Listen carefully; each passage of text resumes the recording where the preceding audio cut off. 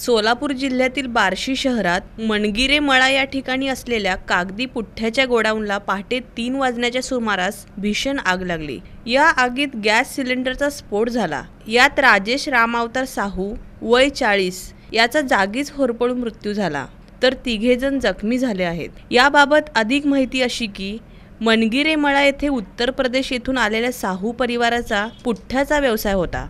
पुठ्ठा ठेवण्यासाठी पत्र्याचे मोठे शेड मारून गोडाऊन तयार केले होते व यातच साहू परिवारही राहत होता. शुक्रवारी पाच तारखेस पहाटे अडीच ते तीन वाजण्याच्या सुमारास अचानक शॉर्ट सर्किटने पुठ्ठ्यांना आग लागली. संपूर्ण गोडाऊन पुठ्ठ्यांनी भरलेले असल्याने क्षणार्धात संपूर्ण गोडाऊन आगीच्या भक्षस्थानी पडले.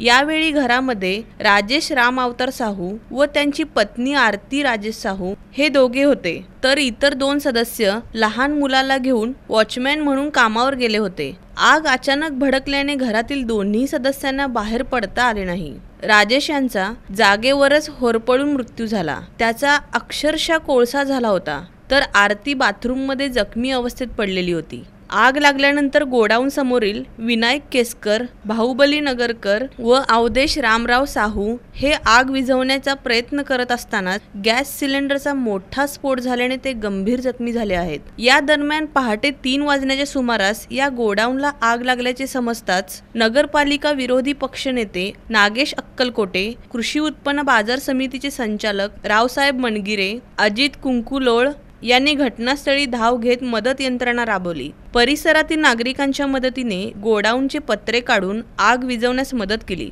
जखमींवर उस्मानाबाद येथे उपचार सुरू आहेत. काय नेमकं सकाळी काय बघितलं?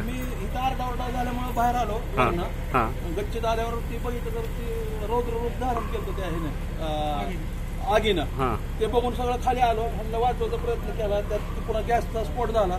पत्र उडून मला दोन्ही हाताला लागलेला बी आहे. हा. असं.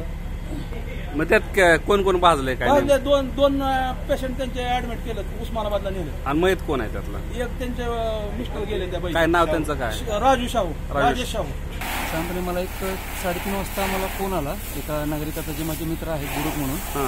तर त्यांनी सांगितलं ज्या ठिकाणी आग लागलेली आहे हम्म. तर माझ्याकडे व्हॅनमध्ये असलेले उपलब्ध असलेले अ, जवळपास दहा सिलेंडर फायर एक्स्टिंग्विशर मी घेऊन या ठिकाणी आलो. आल्यानंतर परिस्थिती पाहता एक्स्टिंग्विशरचा जो काही पहिला फर्स्ट एडचा जो काही पॅच असतो तो निघून गेलेला होता. आगीचं जे प्रमाण आहे ते वाढलेलं होतं. आणि आगीचं प्रमाण जे वाढलेलं होतं ते फायर ब्रिगेडची गाडी त्याचं काम करत होती. आग विझवण्याचं काम चालू असताना अशा परिस्थितीमध्ये जेवढं चांगल्या पद्धतीनं दोन गाड्या लावून आम्ही आग विझवण्याचं काम या ठिकाणी केलेलं आहे आणि आग आटोक्यात आलेली आहे.